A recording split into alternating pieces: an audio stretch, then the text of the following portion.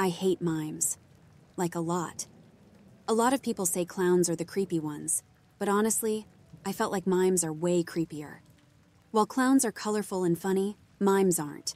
They are just silently watching, miming, plotting. But that's not the reason why I hate mimes. I lived in the city, in an apartment building, and worked a minimum wage job. I couldn't really work anywhere else, since I had been fired everywhere else.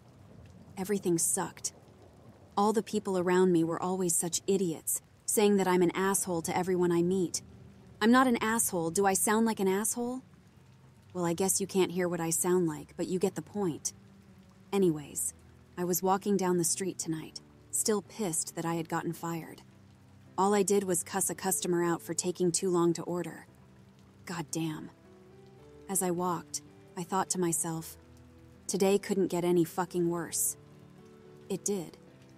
It started when I encountered a large crowd forming on the sidewalk. They were surrounding a Mime Street performer who was doing the usual invisible box routine. After he finished, he bowed, taking off his beret and holding it out to collect spare change. I groaned as I saw all the idiots giving this bum their money, before I continued walking down the street, shoving through some of the crowd members. I suddenly felt something softly tap me on my shoulder. I turned around, and there was the mime, holding his beret out to me. I looked down into it, and for some fucking reason, it was filled with only dimes. There was also a tag on the inside that read Dimes Only. Did this dumbass seriously expect me to give him my money? that I worked so hard for? I didn't think so. And why the hell would you only ask for dimes? I shoved the hat away and turned back around, continuing to walk down the street. That was when I heard a few people begin to laugh. Then it became more. Soon it sounded like a whole crowd was chuckling. I whipped my head around, only to see that the mime was behind me, stomping his feet, looking all angry. He was mocking me, and these people found it funny. How dare they? I flipped off the mime, and I could hear a few people gasp, only for them to laugh even harder when the mime flipped me off back. This fucking bitch. It took up all of my willpower to prevent myself from tackling this mime motherfucker to the ground.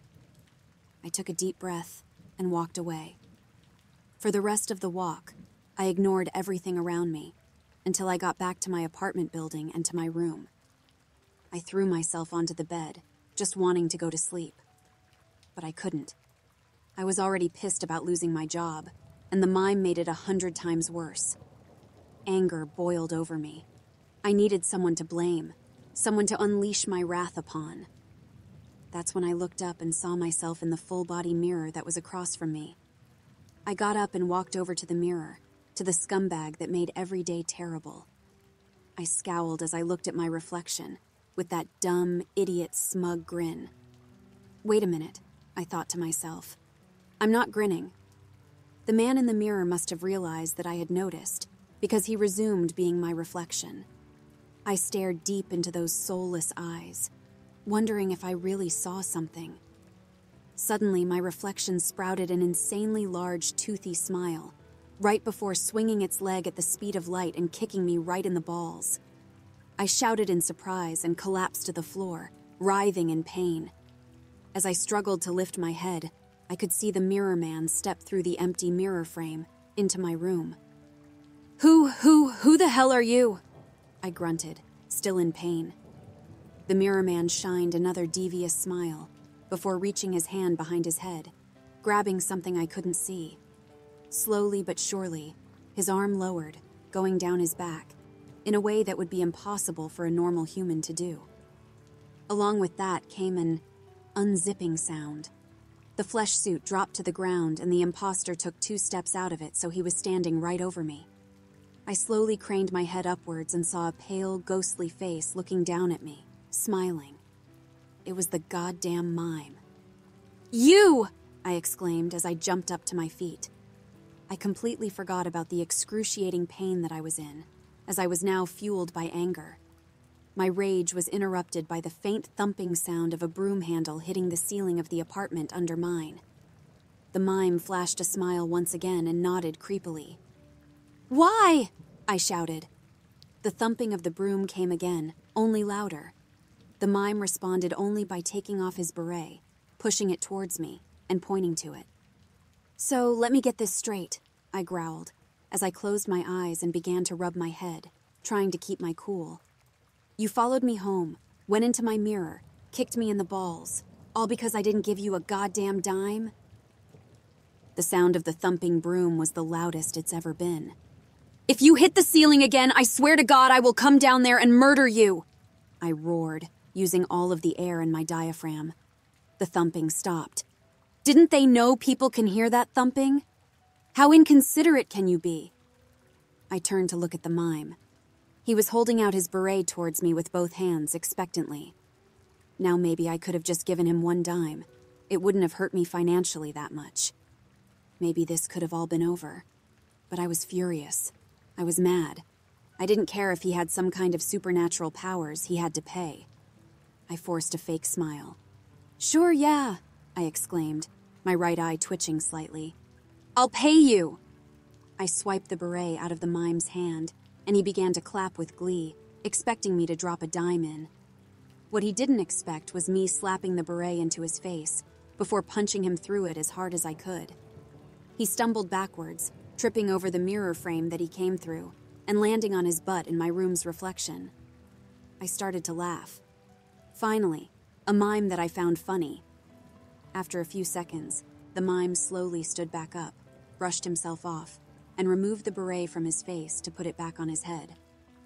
That's when I noticed that the mime no longer had a smile on his face. In fact, he no longer had a face. There were just two bottomless pits where his eyes were, but I could still tell that he was somehow staring at me. This time with malicious intent. He then started to claw at where his mouth used to be, and I watched in horror as he created a new mouth by tearing off his skin, revealing several rows of disgustingly long, sharp teeth underneath. The rest of his body started to morph in disgusting ways that you couldn't even imagine, and a screeching sound filled the air. Hell no, fuck that. I instantly ran to my door, swung it open, and flew out into the hallway. On the other side of the hall, I could see the elevator. I sprinted for my life, towards it. I could hear whatever the fuck that thing was barreling down the hall after me, its ungodly screaming becoming louder and louder. Just as I was a few feet away from the elevator, its doors opened, and I saw a man who was over six feet tall, jacked, and had a scowl on his face. He was also holding a broom. Shit. Broom guy saw me as well and took a step out of the elevator towards me. So, you're the guy screaming about killing me? Well, guess what? I have this broom, and guess where its handle is going? Up your uh, ah, what the fuck is that? I shoved past him, catching him by surprise and causing him to fall to the floor, before running into the elevator, pushing the button to go to the bottom floor as fast as I could. I glanced down the hall and saw the mime, which didn't even look remotely human anymore, on all fours. I also saw the guy with the broom, glaring at me. Fuck you, man, said Broom Guy, right before the elevator doors closed, sparing me from watching the mime tear his insides out. The wait for the elevator doors to reopen felt like it took forever. I was worried that the mime was going to burst through the ceiling and kill me. Fortunately, the elevator doors did open before that could happen. Unfortunately, it was not on the first floor of my apartment building. With a ding, the elevator doors slowly opened, and I stepped out, utterly confused. I was back inside my apartment room. I turned around to go back into the elevator, but it was gone. I felt something softly tap my shoulder. I whipped around to see the mime. God damn it! The mime had his arms stretched out to me, holding his beret, as if he didn't just try to kill me five minutes before. I had enough of this. All of this. I shoved the mime back, away from me. For the last time, you aren't getting any of my dimes. Besides, who the hell just carries dimes around? I don't even know if I have any. That's when I saw the mime flapping his mouth up and down, mocking me. I would never allow someone to disrespect me like that, especially not a mime.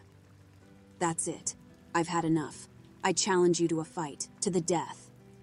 Well, you're probably immortal, but let's throw hands anyway. The mime shrugged as if to say, okay, bro, and rolled up his black and white sleeves, revealing equally as pale arms as his face. He got into a stance and raised his fists. He looked serious. I took a deep breath. It's now or never, Gary. I thought to myself, right before I ran towards the mime, ready for the fight of my life. I collided with an invisible wall. Of course, the mime could summon a magic invisible wall, like in his street acts. Why fucking not? The mime clutched his chest, with his mouth wide open, feigning laughter. No fair! I yelled, still disoriented from running into a fucking wall. I began to press my hands around, trying to find an entrance. No matter what I did, it had no effect on the mime. It was hopeless. Unless. That was when I had an idea. It was either this or death. This was my last resort, my last stand. You're a terrible mime. The mime's look of happiness dropped and became one of confusion. No way was I going to give this mime my hard earned, maybe non existent dimes. So I decided to do the thing I did best insults. Like, half the time you don't even mime, you just kick people in the balls and do demonic shit. The mime stared at me. What the hell even are you, bro? Some weird demon mime thing? Who thought of this? Is this just the universe's way of creating a joke? The mime's face was blank, devoid of all emotion. Though I shouldn't really call you a joke since you're not even funny. The mime took a step closer. You're just a sad, pathetic attempt at a joke that someone would tell their friends at a bar, and no one would even laugh. He took another step. I could hear him deeply breathing now. I bet you don't even have any friends, do you? You don't even talk. I bet outside of this whole mime persona, you're nothing. Literally. You're literally just a mime, there's no real person underneath all that makeup. Without this whole mime getup, you would be. nothing. His face was now inches away from mine. I closed my eyes and prepared for the worst, but then I heard it. Sniff, I opened my eyes and I could see that the sound came from the mime. He was crying. Sniff. Geez, man, you didn't have to be so mean. I'll just leave, whimpered the mime, face full of tears. He backed up from me and began to pack a suitcase that wasn't there before, on the bed. You can talk? I exclaimed, confused as all hell. Yeah, sniveled the mime. We demon mime things have a life too, you know. And feelings. He finished packing and headed towards the mirror across from my bed. Where are you going? I asked. Somewhere where my talent will be appreciated, he said, as he sniffed up one last tear. I'm Pantomimicus, the goddamn god of mimes. I deserve some goddamn respect. Who? The mime stopped crying and now looked livid. Of course you don't know who I am. I bet you don't even know my dime rhyme. You see his act. You must tip a dime or else he'll come for you. Pantomimicus the mime. I didn't respond. You know, all I ask for is one dime. One goddamn dime. But no, you can't even give me one. You're either one greedy son of a bitch or you're broke as hell. Actually, you're probably both. God damn it, it was one fucking dime. I need my dimes, Gary. W- why dimes? I stuttered, taking a step back. I didn't even think to ask how he knew my name. Why the hell not, Gary? I have habits and hobbies just like anyone else. Do you have any habits or hobbies besides being a narcissistic asshole? I'm a goddamn magical mime. I can do whatever the hell I want, and you can't do shit. You know what? Fuck this shit, man. I come out once in a century, and this is the stuff I have to fucking deal with. I'm out of here. Good day to you, you goddamn motherfucking son of a bitch ass piece of shit mortal prick. It's night, I corrected. Fuck off. The mime then stepped through the mirror, disappearing to whatever mime dimension there was on the other side. I checked the mirror to see if he was really gone. Sure enough, my reflection was back to normal. I walked over to my bed and sat down, wondering what the hell just happened, in the span of about an hour. Well, at least he's gone. Now I'm no longer in any danger, I thought to myself. That was when the unmistakable noise of a broom handle thumping against my apartment door snapped me out of my train of thought. Hey, bitch! You left me for dead! shouted Broom Guy from the other side. I don't know what the fuck that demon mime thing was, but I do know one thing. Somebody's fucking dying tonight. In case it wasn't that clear, I'm going to kill you. With this broom! And that's it. that's how I die. It's also why I hate mimes. I survived, Pantomimicus the mime god, only to die by a guy with a broom. Wow.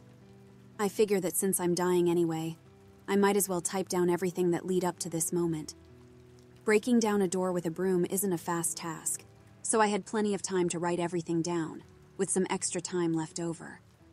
I think I'll make a few closing statements. Today has been extremely weird. I've been chased around by a supernatural mime, defeated him by insulting him, and I'm about to be killed by a guy with a broom. But maybe there's a lesson to be learned here. Maybe, just maybe, I shouldn't have been an asshole to everyone that I have met, which could have prevented a demon mime god from tormenting me because I didn't give him a dime. I'm gonna go check if I actually did have a dime this whole time. Turns out I never had a dime in my pocket, or my apartment. You know what? There's no lesson to be learnt here. My life just fucking turned to shit over a series of random and bizarre events that made literally zero sense. I couldn't do anything about it. You can never truly know in life whenever you'll run into a magical mime with a desire for dimes, or a man with a broom and a thirst for vengeance. Well, maybe there can be one thing learnt here. I guess my life really turned on a dime, eh? I'll see myself out.